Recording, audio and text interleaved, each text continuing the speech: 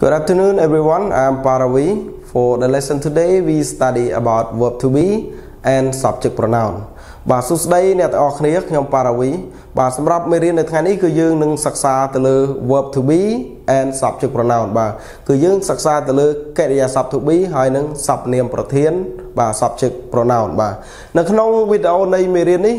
ខ្ញុំនឹងបង្ហាញដល់អ្នកទាំងអស់គ្នា នៅในការប្រើប្រាស់កិរិយាសព្ទ to be ហើយនិង subject pronoun យើងនឹងស្គាល់ថាតើកិរិយាសព្ទ to be នៅក្នុងបច្ចុប្បន្នចែកចេញជាប្រមាណបាទហើយប្រើជាមួយនឹង subject pronoun អីខ្លះបាទប្រើជាមួយនឹងសព្វនាមប្រធានអីខ្លះហើយមួយទៀតគឺយើងនឹងស្គាល់កិរិយាសព្ទ to be នៅក្នុងអតីត verb to be in the past គឺវាបែងចែកទៅតាមប្រភេទនីមួយៗហើយមានការភ្ជាប់ទៅនឹងការប្រើប្រាស់ជាមួយនឹង subject pronoun បាទសព្វនាមប្រធាន បាទអញ្ចឹងយើងក៏លេខមើលកិរិយាសព្ទ to be នៅក្នុងបច្ចុប្បន្នទាំងអស់គ្នា verb to be in the present នៅក្នុងនេះគឺខ្ញុំបែងចែកតាមដំណាក់កាលនីមួយៗទី1គឺយើងសិក្សាទៅលើកិរិយាសព្ទ to be នៅក្នុងបច្ចុប្បន្ន verb to be in the present ឬក៏យើងហៅថា verb 1ចំណែកឯ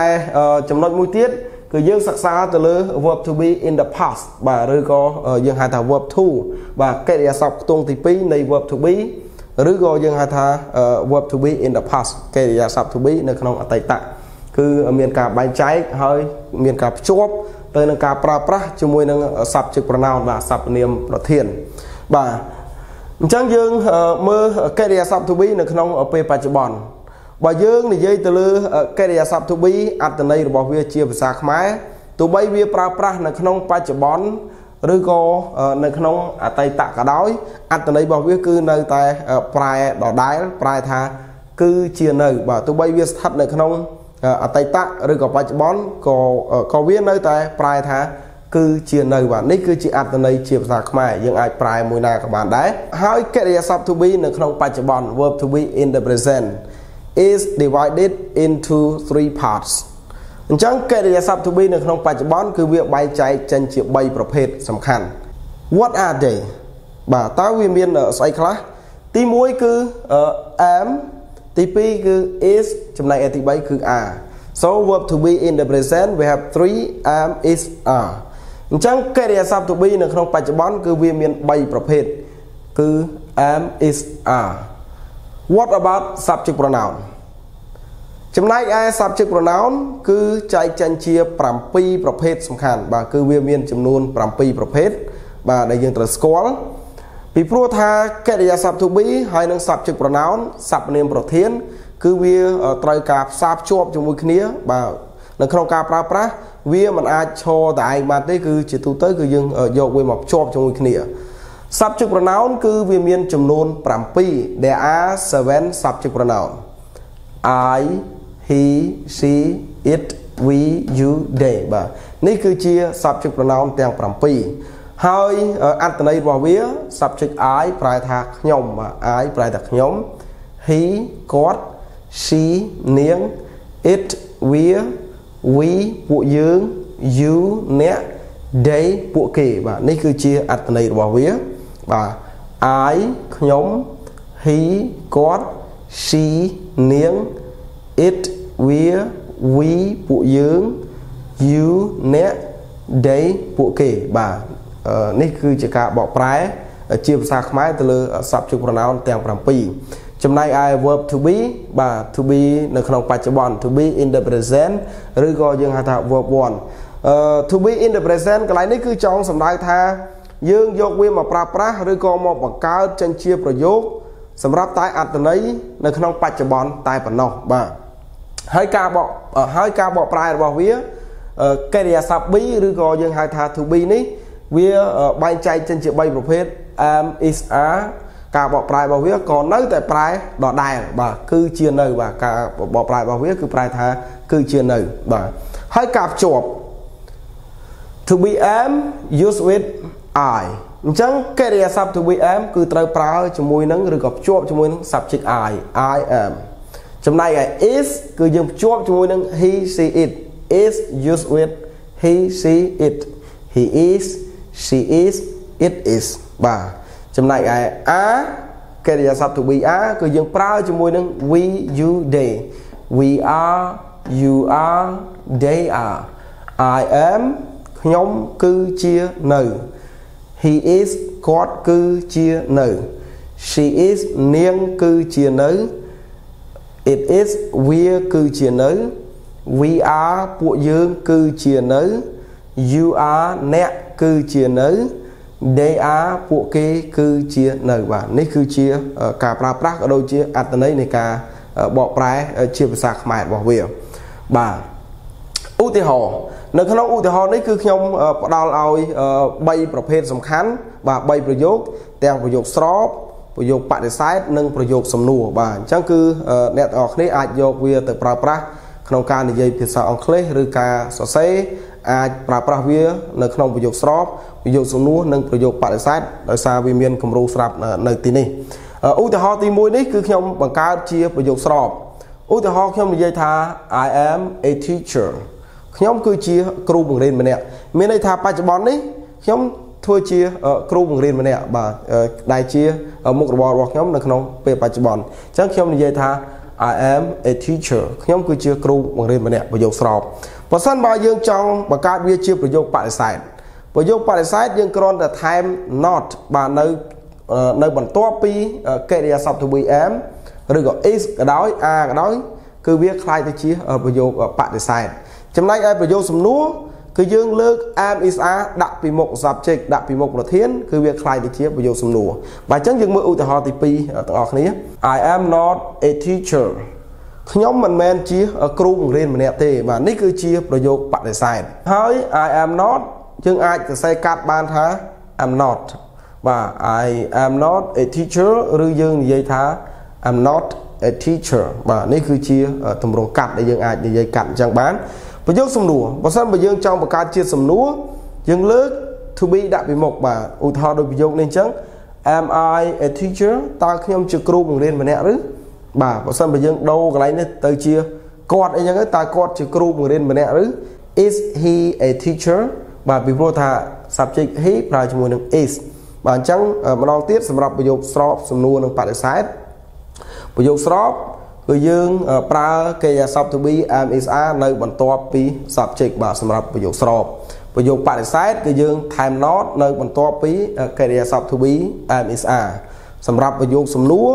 គឺយើងលើក am is are កិរិយាសព្ទ to be នឹងនៅពីមុខ subject បាទដូចឧទាហរណ៍នេះអញ្ចឹងយើងដាក់នៅពីមុខ subject គឺវាคล้ายទៅជាប្រយោគសំណួរបាទឧទាហរណ៍បន្ទាប់ទៀតបាទសម្រាប់ he see it he see it គឺយើងប្រើជាមួយនឹង is he is a doctor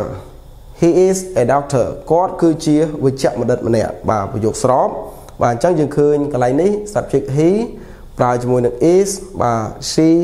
it ប្រើជាមួយ is ដូចគ្នាទៅតាមទម្រង់រូបមន្តរបស់វានៅត្រង់ចំណុចនេះឧទាហរណ៍ទី2 she is a nurse ឬក៏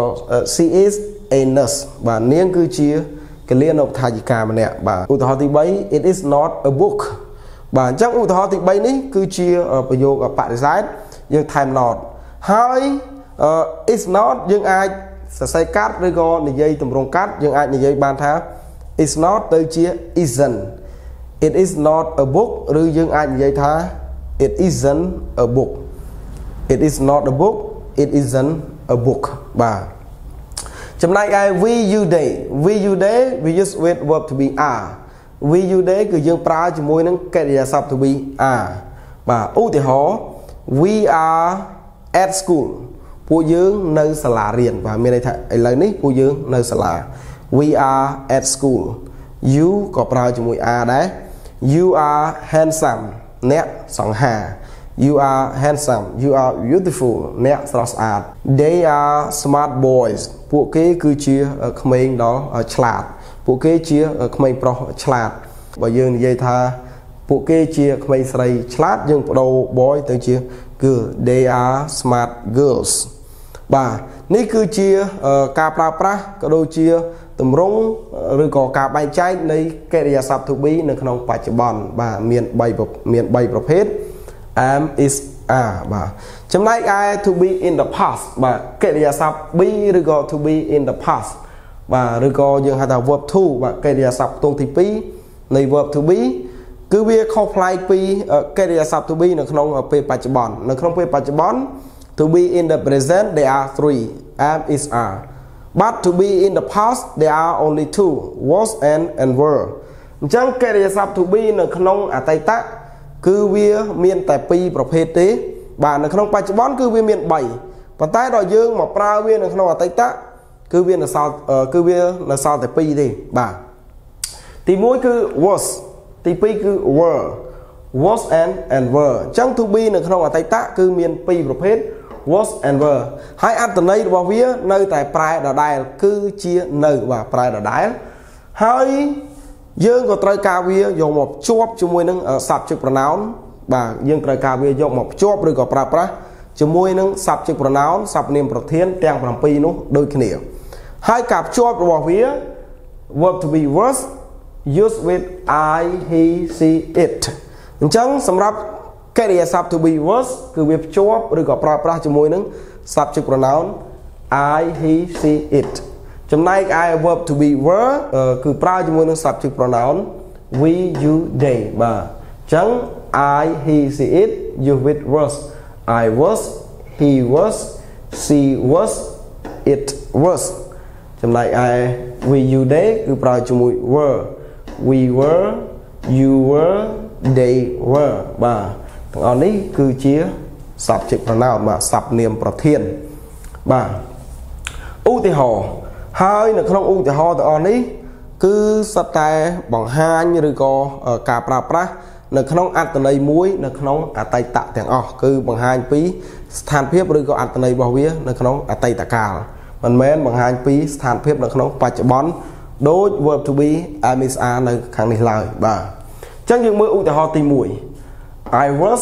a child last 10 years អញ្ចឹងកាលពី10ឆ្នាំមុនខ្ញុំគឺជាកុមារម្នាក់ខ្ញុំគឺជាក្មេងម្នាក់អញ្ចឹងនេះគឺបង្ហាញពីស្ថានភាពមួយនៅក្នុងអតីតមិនមែនបង្ហាញពីស្ថានភាពនៅក្នុងបច្ចុប្បន្ននោះទេអញ្ចឹងយើងនិយាយថា I was a child last 10 year នៅត្រង់ចំណុចនេះបើសិនបើយើងយក I មកប្រើជាមួយ am បាទសួរថាយើងអាចប្រើបានអត់បាទពីព្រោះ I អាចប្រើជាមួយ am ផងប្រើជាមួយ was ផងអញ្ចឹងបើសិនបើយើងយក am មកប្រើនៅកន្លែងនេះបាទគឺมันអាចប្រើបាននោះទេបាទហេតុអីពីព្រោះប្រយោគនេះគឺបង្ហាញពីអតីតមិនមែនបង្ហាញពីបច្ចុប្បន្ននោះទេយើងឃើញដូចជាពាក្យ time expression នៅកន្លែងនេះគឺ last 10 year កាលពី10ឆ្នាំមុនអតីតកាល បាទ yesterday he was at ស្វាយរៀងកាលពីម្សិលមិញគាត់នៅនៅស្វាយរៀងអញ្ចឹងយើងប្រើជាមួយនឹង was ពីព្រោះថា I he she it បាទគឺប្រើជាមួយ was ទាំងអស់បាទអញ្ចឹងយើងនិយាយថា yesterday he was at ស្វាយរៀងកន្លែងនេះយើងមិនអាចប្រើ is បាននោះទេបើសិនបើយើងជំនួស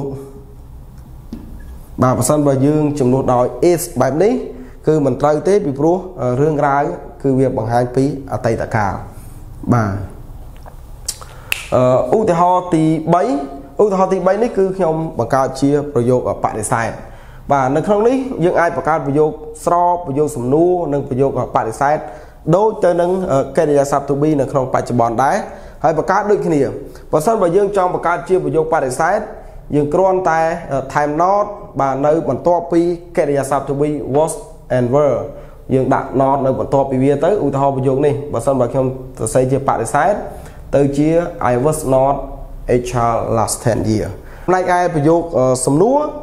សម្រាប់ប្រយោគសំណួរនោះគឺយើងលើកកិរិយាសព្ទ to be was and were ដាក់ពីមុខ subject បាទមានន័យថាយើងប្រើ was and were ហើយបើយើងប្រើ subject គឺវាคล้ายទៅជាប្រយោគសំណួរបាទអញ្ចឹងយើងមើលបន្តទៀតឧទាហរណ៍ទី3 She was not a lazy girl She was not a lazy girl អញ្ចឹងនេះគឺជាប្រយោគបដិសេធនាងមិនមែនជាក្មេងស្រីដ៏ខ្ជិលម្នាក់ទេ នាងមិនមែនជាក្មេងស្រីដ៏ខ្ជិលម្នាក់នោះទេ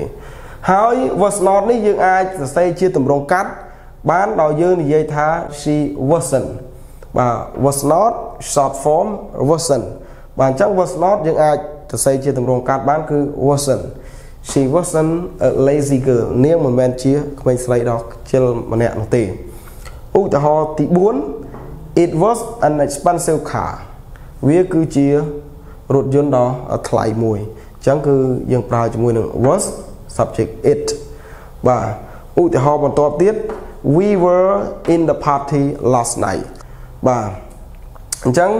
subject we use with were ពួកយើងនៅក្នុងវិធីជប់លៀងកាលពីយប់មិញបាទឧទាហរណ៍បន្ទាប់ were you a singer were you a singer តើអ្នកគឺជាតារាចម្រៀងម្នាក់ឬនេះគឺជាប្រយោគសំណួរបាទដូចខ្ញុំបញ្ជាក់អញ្ចឹងបើសិនបើយើងចង់បង្កើតជាប្រយោគសំណួរគឺយើងយក verb to be was ឬក៏ were ដាក់នៅពីមុខ subject បាទយើងដាក់មុនគេបន្ទាប់មកបន្ទាប់មកទើបយើងប្រើ subject were you a singer បាទតើអ្នកគឺជាតារាចម្រៀងម្នាក់ឬបាទនេះគឺជាប្រយោគសំណួរ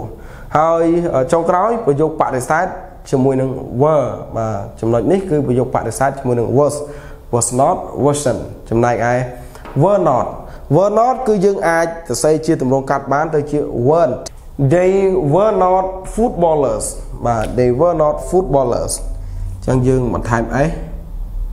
អឺពីព្រោះវាជា plural noun they were not footballers ឬក៏យើងអាចនិយាយបានថា they weren't footballers ពួកគេមិនមែនជាកីឡាករបាល់ទាត់នោះទេ បាទអញ្ចឹងគឺខ្ញុំសូមសង្ខេបឡើងវិញនៅអ្វីដែលយើងសិក្សានៅក្នុងមេរៀននេះ គឺយើងផ្ដោតទៅលើ verb to be in the present and in the past and subject pronoun ចឹងនៅក្នុងមេរៀននេះគឺយើងសិក្សាទៅលើកិរិយាសព្ទ to be នៅក្នុងបច្ចុប្បន្នអតីត ហើយនឹង subject pronoun បាទសព្ទនាមប្រធាន verb to be in the present there are 3 am is are កិរិយាសព្ទ to be នៅក្នុងបច្ចុប្បន្នគឺវាបែងចែកចេញជា3ប្រភេទបាទមាន am is are បាទគឺមានចំនួន3ចំណែកឯ subject pronoun there are 7 subject pronoun បាទ subject pronoun គឺមានចំនួន7មានដូចជា I he she it we you they បាទចំណែកឯ verb to be in the past បាទកិរិយាសព្ទ to be នៅក្នុងអតីត គឺវានៅសល់តែ2ទេបាទបច្ចុប្បន្ន3ដល់អតីតគឺវាបែងចែកចេញជា2ទេគឺមាន was and and were ហើយការភ្ជាប់របស់វារវាងកិរិយាសព្ទ to be នៅក្នុងបច្ចុប្បន្នហើយនិងអតីតកិរិយាសព្ទ to be នៅក្នុងបច្ចុប្បន្នដូចជា verb to be am used with I he she it you with is he is she is it is ចំណែកឯ we you days you with are we are you are they are ហើយ to be នៅក្នុងអតីត was you with I he she it I was he was she was it was uh, were you with we you they we were you were they were បាទហើយការបកប្រែអត្ថន័យរបស់ verb to be ទោះបីស្ថិតនៅក្នុងបច្ចុប្បន្ន present ឬក៏ verb 1ហើយនឹង past ឬក៏ verb 2គឺវាប្រែដដែល ប្រែថាគឺជានៅបាទ Thank you for your watching my video បាទអរគុណច្រើនសម្រាប់ការទស្សនាហើយក៏សូមអធិស្ឋានសម្រាប់ទៅលើកំហុសដែលកើតឡើងទៅលើចំណុចណាមួយ Thank you goodbye